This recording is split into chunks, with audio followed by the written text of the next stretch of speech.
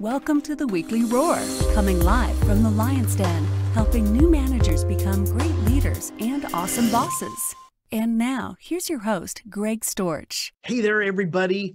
Welcome to the Weekly Roar. Thanks for coming back to the Lion's Den for this week's watch party.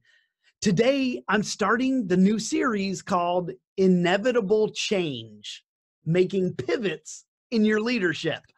But before I kick things off, I'm Greg Storch. I'm the founder of Lion Enterprise, a leadership development and coaching business where I focus on helping organizations create winning cultures. I'm a certified professional coach and a certified leadership speaker and trainer. Last week, I wrapped up my Follow the Leader series by speaking about another concept in the foundations of leadership. I spoke with you about how to leave a lasting impression that lasts and the importance for leaders to consider how they want to be remembered.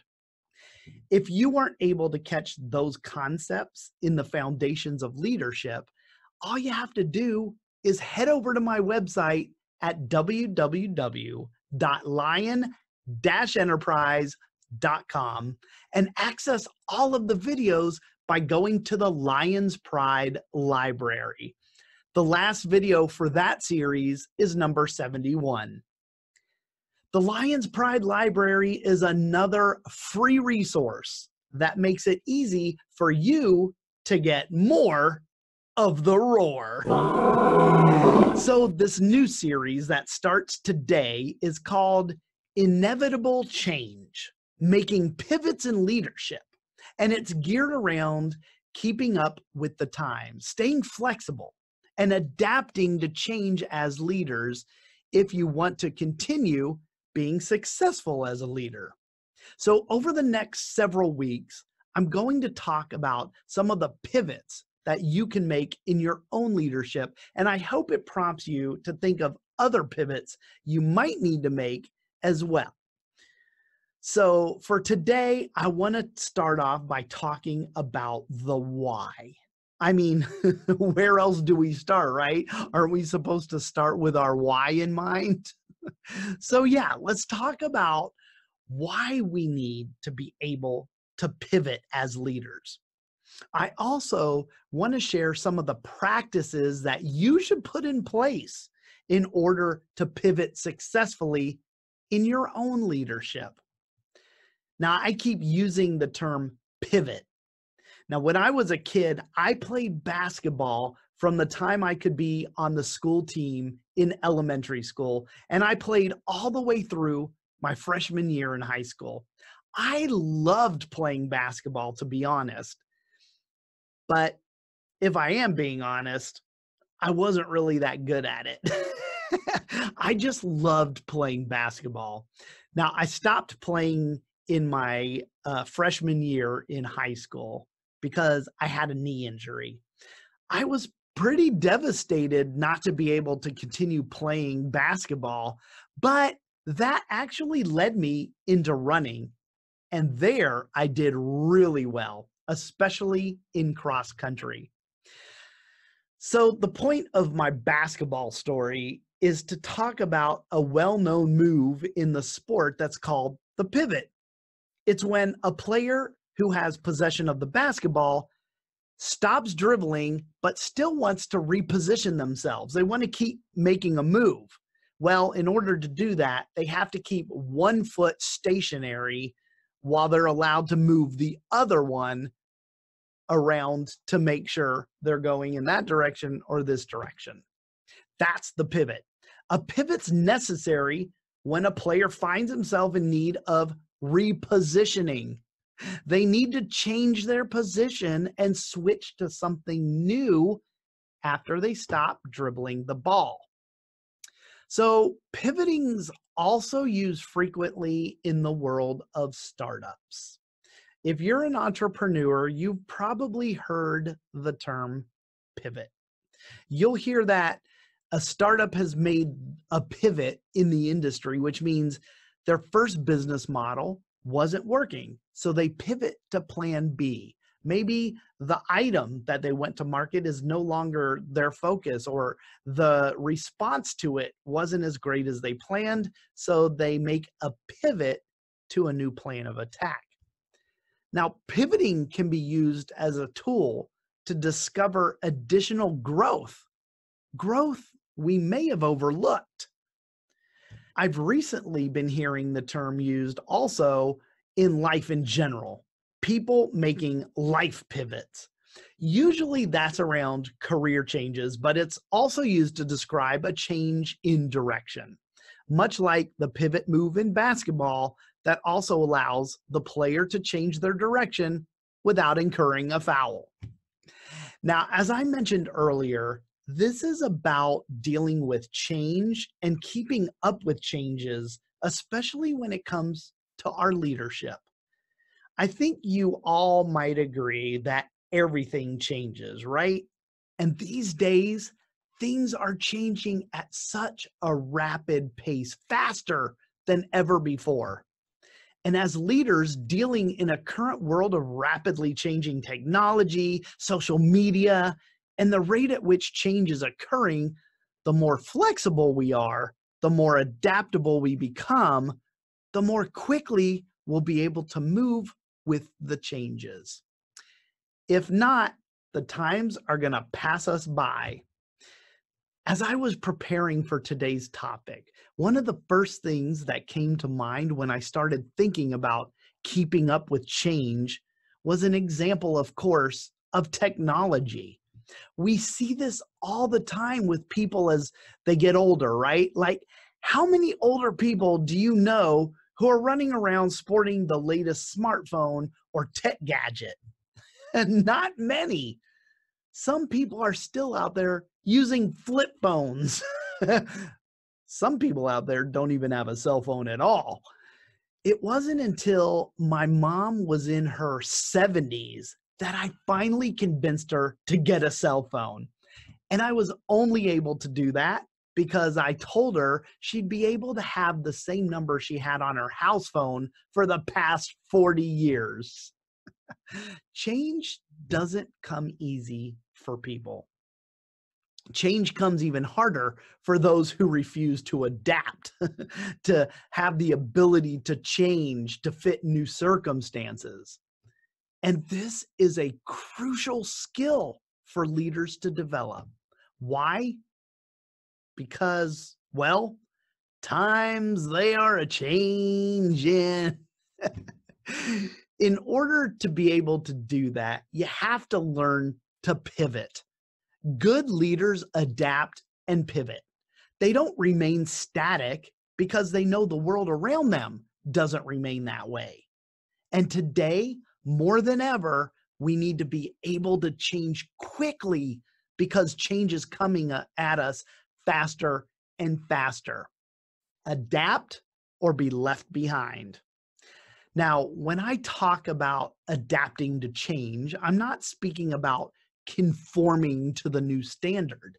There's a difference between conforming and adapting. Conforming to something keeps you average and it holds you back from standing out as being unique and we're all unique. Whereas adaptability is having the ability to sense change and adjust your position to take advantage of the new direction. Conforming stunts our growth because when we try to just conform, we're forced into the safe zone.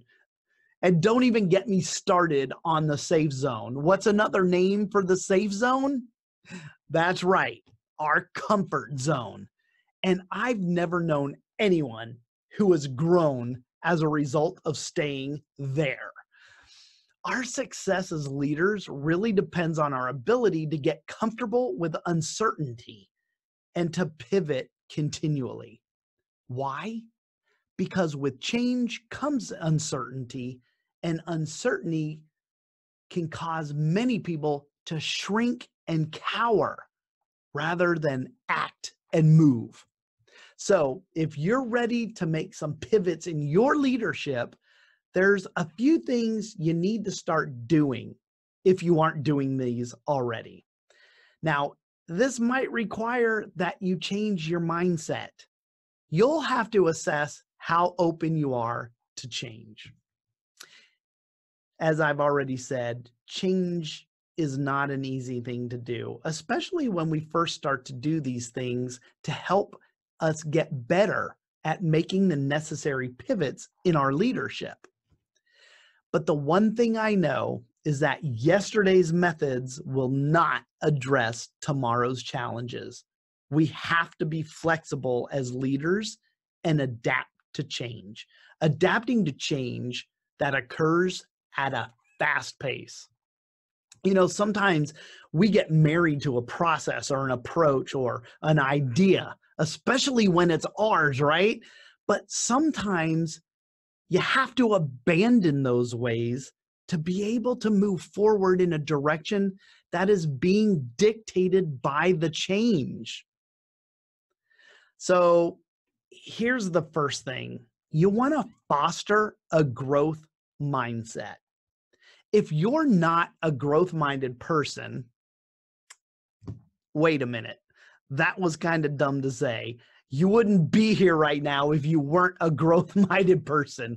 Let me say this another way as a growth minded person, you need to embrace the fact that we are all in a perpetual lifelong mode of learning. We all know that there is no finish line when it comes to learning and growth. And so that's one of the first things you should keep in mind on a daily basis is that we have to continually change and learn and grow as leaders. What we know today most likely won't serve us very long into our future. So don't get married to any one idea or practice. We also got to understand that what we knew today will have to be left behind and something new learned to take its place.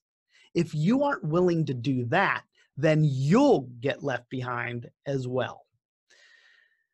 Earlier this year, I made a decision to move from a Windows operating system to the Mac OS. For those of you who have made that switch, you know exactly what I'm talking about. It's not easy. I actually tried to do it once before and I quit. I had held on to my Windows machine, and as soon as I got frustrated with the Mac, I went right back to my old Windows machine. But this time, I got rid of my Windows machine. There was no fallback plan. I forced myself to adapt and learn to the new system. And you know what? I love it. And every day I use it, I get better and better at it. I don't even think about that old Windows machine anymore. And I certainly don't think about those Windows updates.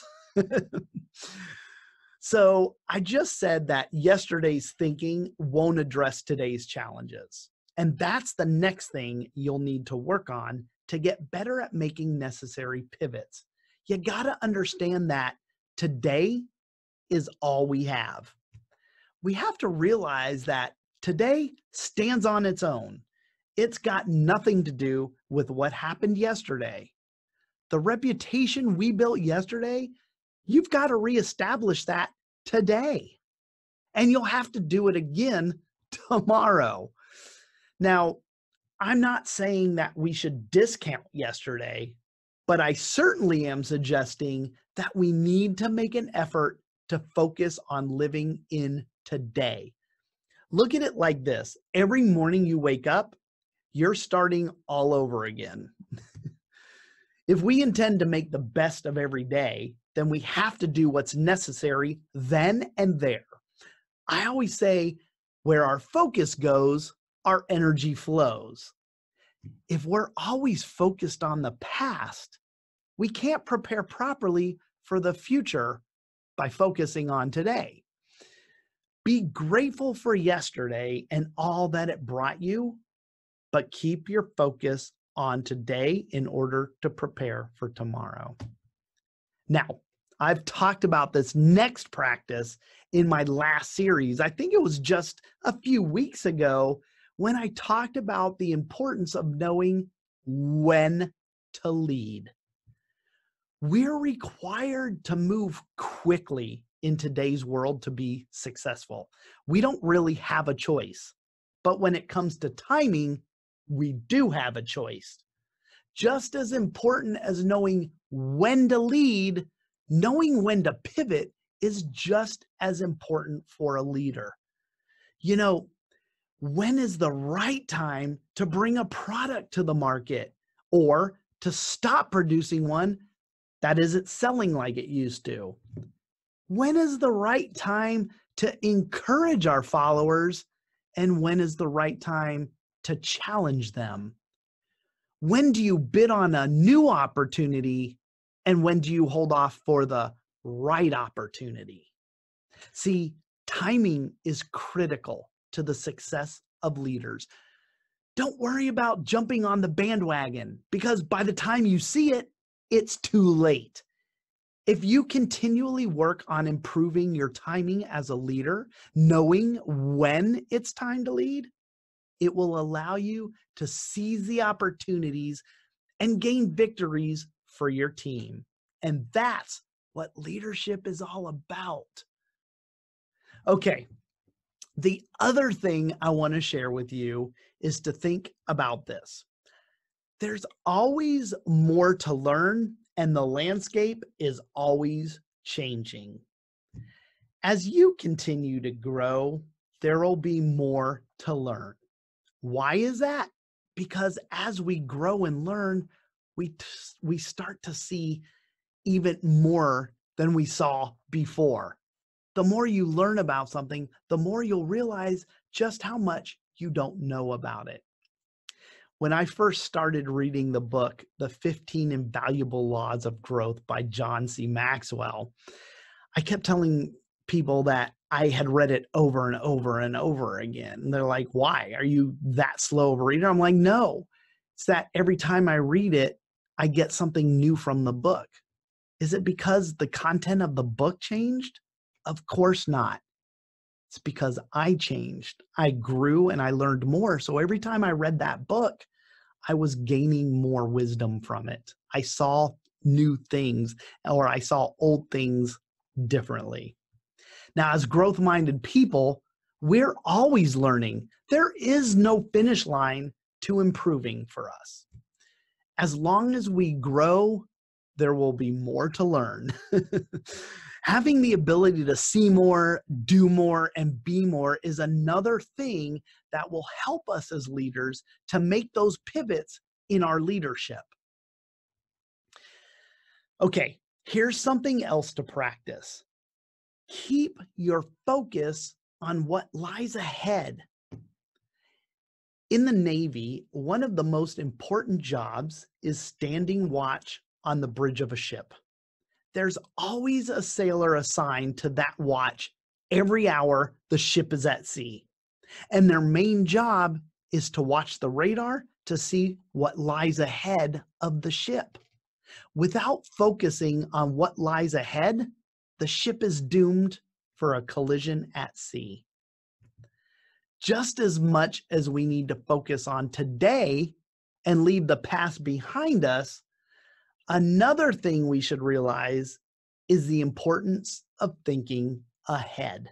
Thinking ahead allows us to stay ahead, and staying ahead is what tells us when it's time to make the pivot. But in order to think ahead, we have to have a clear picture of what it is we're trying to accomplish, what it is we want. Having a clear picture allows us to better see where we're headed. And when we focus on that, we attract it. Listen to this. Have you ever experienced this before? I call it the mind's eye, but it's happened to me when I was thinking about buying a new car. I would do tons of research to find the car I wanted. Then I would go test drive it, and ultimately I would purchase it for months, I would be consumed with the image of that car. And as soon as I bought it, or even as soon as I knew what kind I wanted, I started to see that same make and model everywhere I went. look, there goes another. Look, there goes another one. That's because what we focus on expands. Having the right awareness of where we're headed by thinking about tomorrow, focusing on what lies ahead, we begin to actually lead our lives and not just accept it. Here's another practice that you'll want to consider if you want to get better at making necessary pivots in your leadership. Understand that fear is the great paralyzer. It keeps us right where we are and it will not let us move forward. It is the catalyst of inaction. And the greater our inaction, the more opportunities we lose because opportunities are filled with uncertainty. And if we don't have the courage, if we're afraid to move forward despite that uncertainty, our fears will get worse and we're just going to remain frustrated because we're not going to go anywhere. Be brave. So many great things have started because of one single act of bravery. Having the courage to move past the fear. You know what fear stands for. I've said it a million times false evidence appearing real. But we have to step out and we have to take that first step. Think about it. How many worthwhile things have you done in your lifetime that started out scaring the living daylights out of you? I've got plenty of those stories. Joining the Navy at 17, supporting the Marines in the desert in Iraq, getting remarried after a failed marriage, moving to Italy and selling everything we owned. Think about it. You have those same kind of stories full of fear. And once you pushed past them, look at how you are today.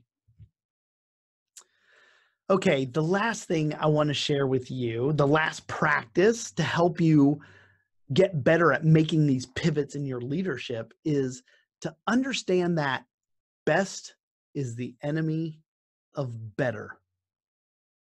As leaders, we need to continually get better. Tomorrow's challenges are not going to be addressed with today's skills, abilities, and knowledge. Don't ever rest on your best because as soon as you do, you'll be put to the test. what we do today makes tomorrow the best it can be, or it can make tomorrow the worst it can be. Making the right choices, making the needed changes today impacts the choices and the changes you're going to face tomorrow. So, if you want to maximize your effort today, ask yourself this one simple question Is this the best I can do? And even more importantly, am I getting better?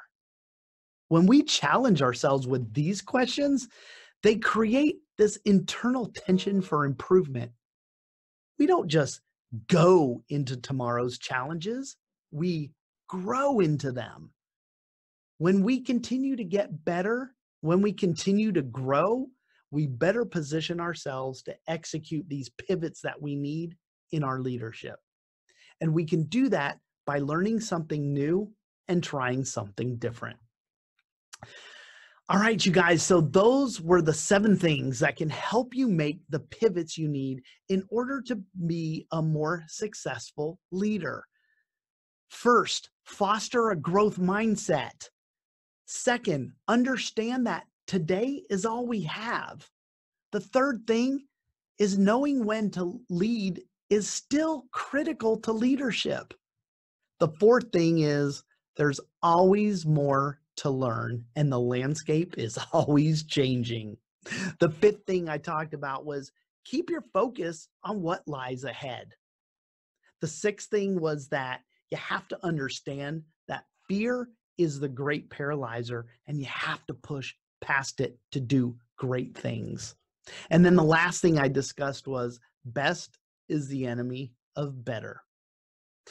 All right, everybody, there is the introduction to my new series, Inevitable Change Making Pivots in Your Leadership. Thanks so much for tuning in again this week for the weekly roar. I appreciate your support. And remember, if you like this content, can you please share out the link to the weekly roar video that I'm going to post on my timeline here in the Lion's Den after the watch party's over? I don't want you to share out the actual watch party link because once the watch party ends, I don't think it can be viewed anymore. It'll be a dead link. I'm going to be back here next week in the Lion's Den speaking about the first pivot we can make in our leadership. It's one of the biggest lessons I learned in the Navy, and that is that we don't accomplish anything by ourselves. So, next week's pivot is about shifting our focus from me to we, and why it's important to make this pivot to our success as a leader. So, what do you think so far?